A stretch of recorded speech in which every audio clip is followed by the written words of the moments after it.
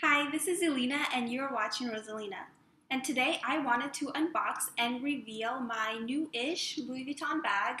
Reason I say new-ish is because I actually bought this bag three weeks ago and I haven't unboxed or looked at it. It's been sitting in the shopping bag for three weeks, which is very embarrassing. So I wanted to finally open it and start using it. So I purchased this bag in Portland, Oregon, in the United States. No sales tax. For me. And here is the proof of purchase with the receipt. And it came in this box. And I didn't get the leather cord. Instead, they taped it with the stickers. There's that. And I also asked for a separate dust bag for the strap of the bag. And they actually gave me its individual little box, which I thought was so cute. So without further ado, let's actually open the bag. So I got a razor blade here to slice into it. Let's do that. Okay. And getting the lid off. Whoops. Here is the dust bag safe way so it doesn't get in our way. Okay, so here is the dust bag. And they actually left the sticker on the bag. I don't know why, but that's cool. And it's a flap dust bag. It opens to show the Speedy Bandouliere 25.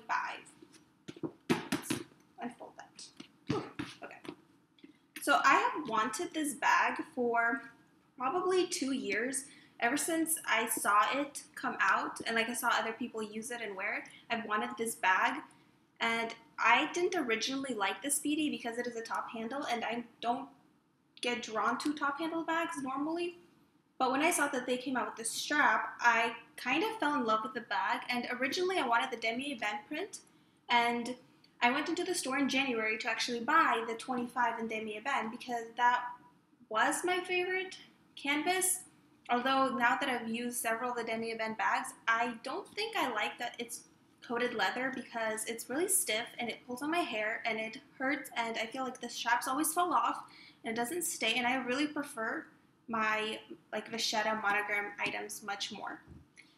So I went into the store to buy the 25 in Damier Ebene and I when I say every single person in the store, I mean the store was empty, so every employee, an SA in the store at Louis Vuitton, which was at least 10 people, was like, you can't get the 25, you have to get the 30, and then you know it has to grow with you as you age and move through life, and the 25 is just too small. I bought the 25 like 20 years ago and I regret it. I should have gotten the 30 because you know I was size 2 and I'm like a 14, and you know the 25 looks ridiculous, and I should have just bought the 30 when it was 200 plus dollars and so on, so on, so on. I mean, I was I came in to buy the 25. I was like dead set on it. My heart was set on it. I finally decided after two years of like thinking and being on the fence whether or not I should buy the bag.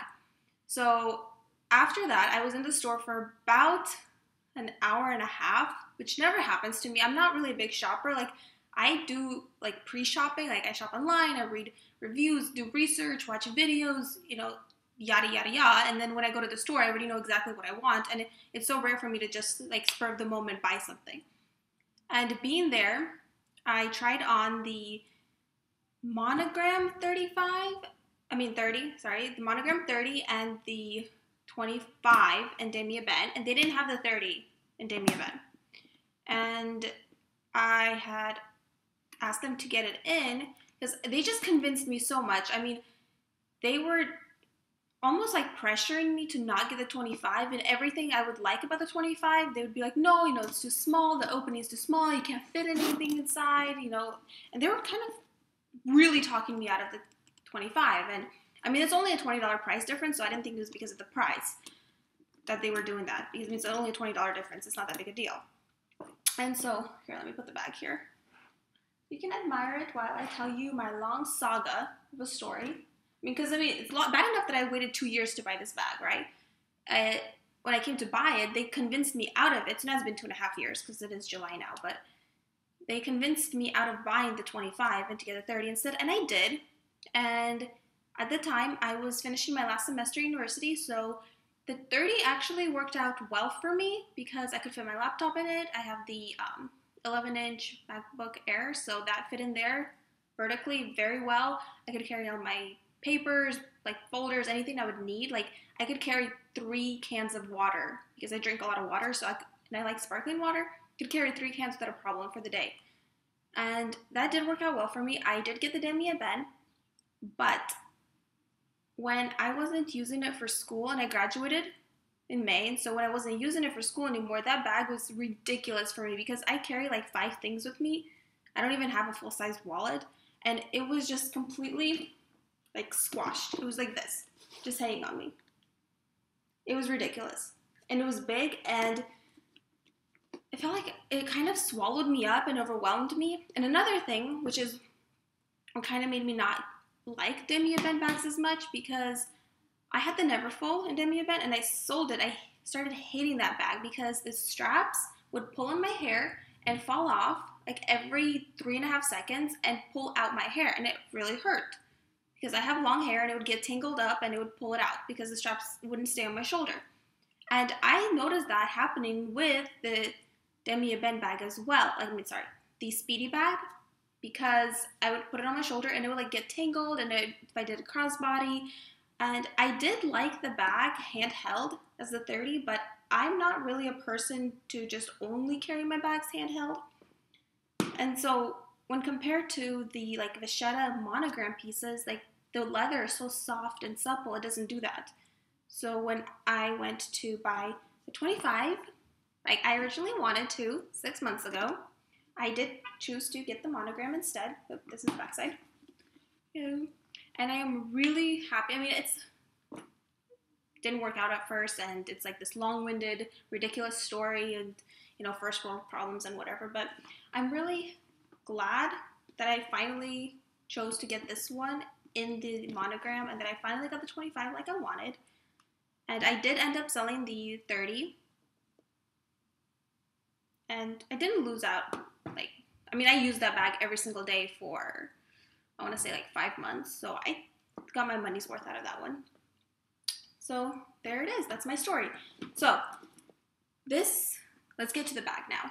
This is the obviously this Speedy Bandouliere 25 in monogram. Comes with the untreated Vachetta leather pieces, the handles, and the sides. Now this bag was made in the USA, so the stamp right here, hmm, you can't see. It says Louis Vuitton Paris. It doesn't say made in because it has the cloth tag on the inside somewhere. Oh, it's right there. But this smells so good. Okay, this is crazy. My husband thought I was ridiculous because this smells like watermelon to me. Like, it legit smells like watermelon. Like, if you have watermelon sitting out on the counter, that's what it smells like. I know, I like it. So, the size dimension of it is 9.8 inches in length, which is the 25 centimeters, um, 7.5 inches in height, and 5.9 inches in width. Now this is like everybody says the bottomless black pit of bags because you can fit so much in there. And I will say that this opening is very, very small compared to the 30. Like this opening is teeny, teeny, tiny. Like to see and to get things out. But I really like that it's smaller because I mean you would think that the 30 is only like this much bigger, right? Like five centimeters but it's bigger all around. Like if you compare, if you Google a picture of the two of them side by side, like that one is much higher and much wider, and it fits probably twice as much because I could easily fit one of those little, um, you know, those airplane neck pillow things that you use to fly, but I can't fit it in here, so that's kind of unfortunate. I can't. I mean, I'm gonna obviously, I'm going on vacation in a month, and I'm gonna take this with me on as a carry-on to see how it's gonna work, and I'm just gonna put the neck pillow in my husband's bag. So we'll we'll just see how that works out. So the size of the bag is actually stamped right here. Sorry. I'm sorry. I'm still trying to get a hang of this whole filming setup thing, so I do apologize for that. Now the handles drop is exactly the same on any size Speedy, and the pocket inside is also the same as any of the Speedies. Now this pocket currently does have, yep, that's what I thought. Okay, so it has the dust bag with the locking keys that I will show you in a minute, and the cards. So this is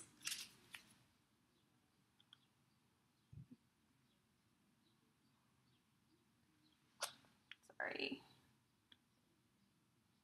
It's really bright. The coated fabric and the cowhide leather trim. And this is the product card. Which I'm sure you could find the Speedy Bandouliere easily on the Louis Vuitton site because actually I have it. Oops. Right up right here. So and it currently retails for $1,370 in the States. And I live in Oregon, so I don't have to pay sales tax. Which is great, but I mean, so plus like $200 for tax, I guess. So a little dust bag. And there's the brass lock that is embossed, Louis Vuitton Paris, LV on the side, the two keys. Now I don't actually use the locks to lock my bag. I don't know. I never done that. The date code is right here.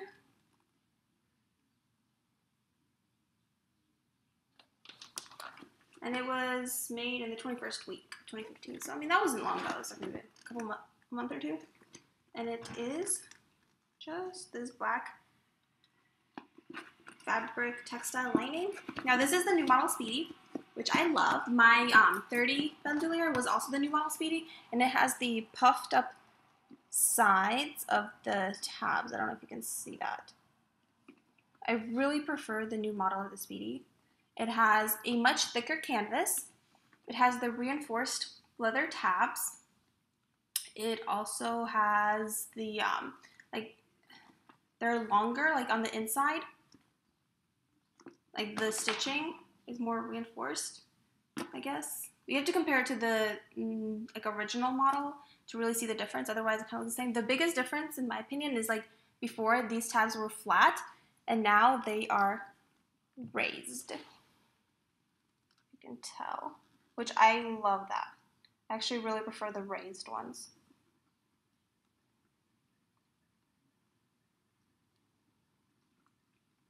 And the the bandoulieres do feature the double zipper on the top where you can know, lock the bag with this lock, which I don't know if I would do. We'll see how I feel about it like traveling with it. It's crossbody. So there's that. And then this is the this is the other box that she gave me. I asked for a drawstring bag for the um, the crossbody strap, and she actually gave me a dust bag, which not a dust bag, a whole box for it, which was really cool. I think it's like a drawer with the dust bag and the strap. So it comes in three pieces, and you can do the bag in three different lengths. Now these clasps are engraved with Louis Vuitton. And I think, no, these are not the sides. Okay.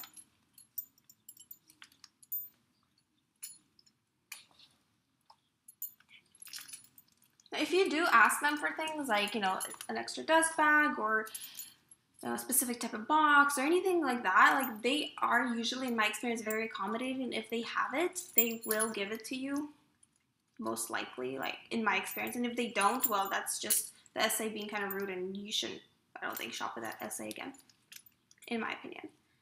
And what was I gonna say? I don't remember. Okay, so the crossbody strap does not say how long it is on the Louis Vuitton website. So let's put this together.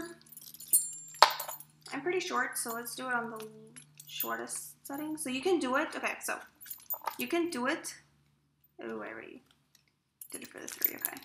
So you can do only the two pieces and have it as a shoulder bag.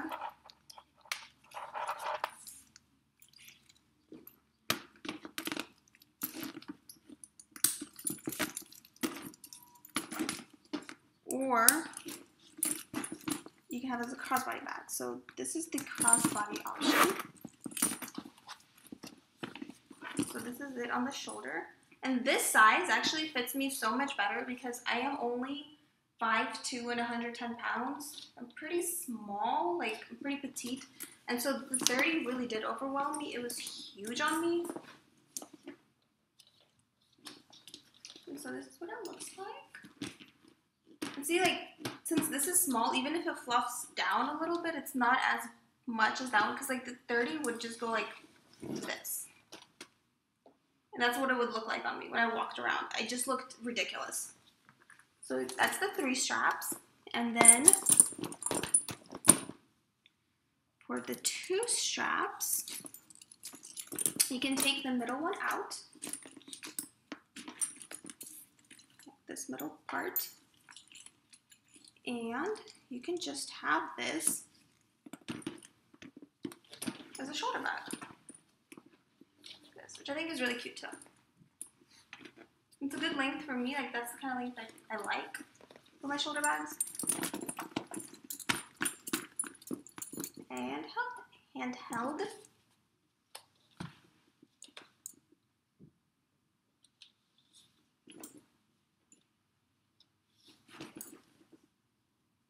Now I did hear from uh, some YouTube videos and actual SAs in the store that you should let the Vachetta sit out in the air for three days before first using the bag so that it can breathe and oxidize naturally before you contaminate it with any of your natural oils. So that's actually what I'm going to do. I'm going to let this sit out for three days before I use it. And let me know what you guys think and if you like the bag or if you have this bag or if you would like to see any additional videos and thank you very much for watching this video and my previous video. I had so much fun filming that one and I want to do more in the future and if you have any questions or comments please leave them below or any suggestions for videos would be great because I like watching videos but I have no idea what you want to see from me so if you want to see anything at all. So just let me know and have a good day. Bye!